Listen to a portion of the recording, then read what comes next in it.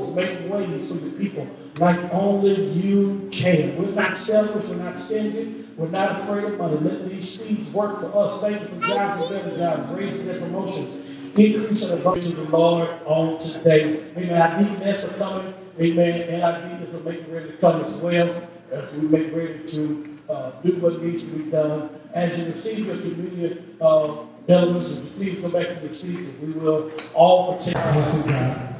I'll give you the right hand of welcome. And after the memorial orientation, we'll give you the right hand of fellowship. Come in and work and grow with us as we grow.